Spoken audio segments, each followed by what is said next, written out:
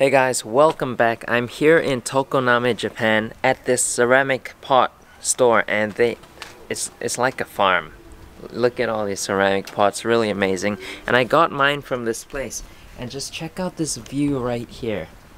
I showed this to you in one of my previous videos, but it's just stunning, beautiful. So I want to show you something. There's Japanese rice fish here and there's just a whole variety of them I'm gonna start off with this huge pond right here, this ceramic pot. It's beautiful. You can see the water is a bit green, but there's a lot of rice fish in this one. Different colors. Kind of hard to see them, but they are darting around in here. This here is Hydrocotyle verticillata, also known as the mushroom plant. And you'll see a whole lot more of that later. But right here you've got a smaller type with some little goldfish in there just sticking their heads out. And then right here, these guys are just beautiful. Look at the colors on those. It's like a silvery, bluish color. And one of them even has eggs. It's carrying eggs. Wow, beautiful. Some huge goldfish in this one. These are the Ranchu goldfish. And look, this white one there is my favorite. If you see, it's got this orange color lip. Kind of like it has lipstick on, but yeah, that's my favorite one. super cute. And these ones here are pretty big. You can see the size of the pot. Pretty large too. Here's another one. The water is a bit green in this one. But you'll see some smaller goldfish. There's a whole bunch in this pond. You just can't really see them. But yeah, really nice. See, they're starting to come out now. Alright, let's start over here and work our way down. Um, so these ones I've been told are bred by professional rice fish breeders and just look at the colors. And these ones are pretty large size as well, so really nice. Over here you've got some red ones and wow, these are like koi's. You can see they're mixed colors, red with black. Really nice. They look amazing and all these are so simply set up. You can see there's no substrate in them. Just a few floating plants. But yeah, look at the colors on these. Can you see them? It's amazing. And then over here you've got more.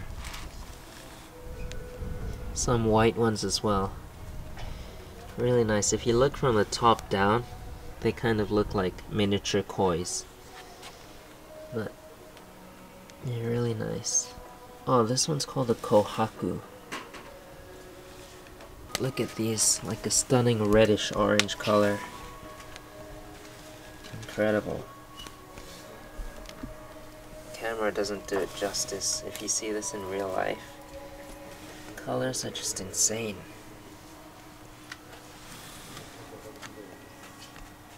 Then here you've got a nice silvery blue color type. Look, there's just a whole bunch of them swimming around. And it's nice how they swim towards the top, kind of like guppies. So many people don't know the difference between guppies and rice fish. Um, guppies are live bearers. They give birth to live young. Whereas Japanese rice fish, also known as the Medaka rice fish, they lay eggs. So they'll scatter their eggs onto like the roots of this plant and then the babies will hatch out. Over here you've got a couple. Wow, look at the colors. Just shimmering. Let's see if there's some under here. Yeah, look at that. This one right here, it's probably one of my favorites. Just look how intense the red coloration is. I hope you guys can see how red that is. These are amazing. The whole body of this fish is red.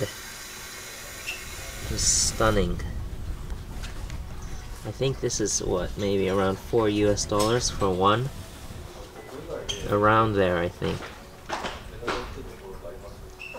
But yeah, beautiful.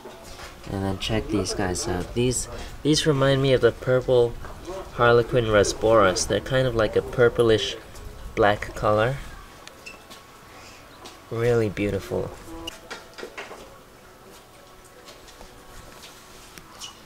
And then these ones. These are called the marine blues. Like a very light blue tint on them. And a platinum white color. And check this out this is one of their hides. So when they get scared they'll hide underneath. Look there's some in there. And here's some hydrocotyle verticillata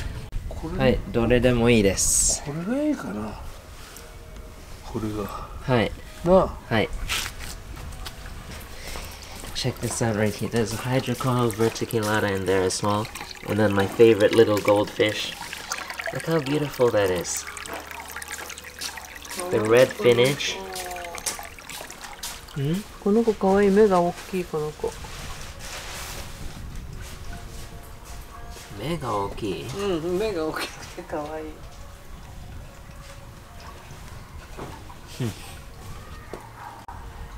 赤ちゃん、うん Oh yeah, look how many babies there are in this one.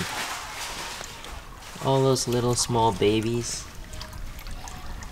So yeah, super easy to breed them. Just put a few floating plants. Um, a few plants that have roots, root structures, so easy to breed fish. And very hardy too. Check this one out. This one is awesome. Look at how the hydrocotyle is just growing out like that. Crazy. Really nice. And then of course there are rice fish in here as well.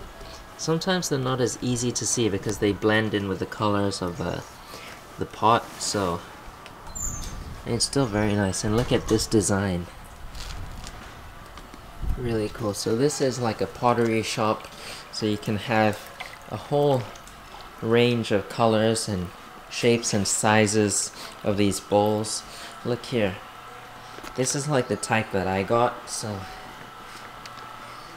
really nice, interesting store. If you guys enjoyed this video, hit the thumbs up, subscribe if you're new here. Short little video today, but I got myself a hydrocotyle verticillata to add to my mini pond. And check this out, there's so many more around here.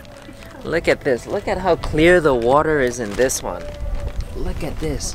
There's nothing in it, but it's super clear. I think there's some in here. Oh yeah, so many little babies in there. Yeah, if you guys enjoyed it, hit the thumbs up and I will see you guys next time.